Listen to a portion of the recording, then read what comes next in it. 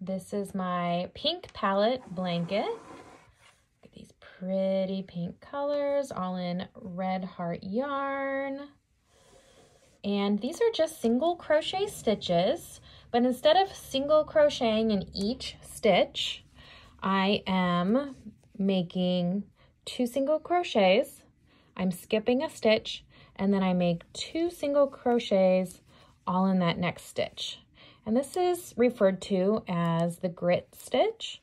So I'm skipping a stitch, two single crochets, all in the next. Skip a stitch, two single crochets, skip a stitch, two single crochets. And this gives it a really, really nice texture. Just love the way this looks. And it's so easy to do.